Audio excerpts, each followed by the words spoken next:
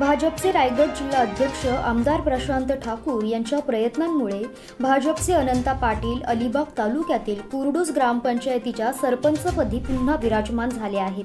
अनंत पाटील यांनी आपल्या सरपंच पदाचा गैरवापर केल्याचा आरोप करण्यात आला होता. त्यामुळे कोकण आयुक्तांनी त्यांचे सरपंच पद रद्द केले होते.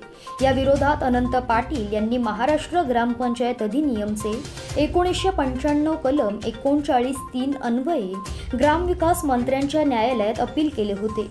यावर ग्रामविकास मंत्र्यांच्या न्यायालयात सुनावणी झाली. अनंत पाटील यांच्यावर करण्यात आलेले आरोप तांत्रिक मुद्द्यांवर आधारित आहेत. त्यांनी आपल्या सरपंच पदाचा गैरवापर केल्याचे आढळून येत नाही. त्यामुळे अनंत पाटील त्यांचे अपील स्वीकारण्यात आले आहे. कोकण आयुक्तांनी दिलेले आदेश रद्द करण्यात येत आहे असे ग्रामविकास मंत्रालयाच्या आदेशात म्हटलं आहे. सरपंचपदी पुन्हा विराजमान झाल्याबद्दल अनंत पाटील यांचे भाजपचे दक्षिण रायगड सरचिटणीस मिलिंद पाटील चिटणीस समीर राणे अलिबाग तालुका अध्यक्ष परशुराम म्हात्रे ओबीसी सेल अध्यक्ष अशोक वारगे कुरडूस विभाग प्रमुख अमित पाटील किशोर यांनी अभिनंदन केले आहे.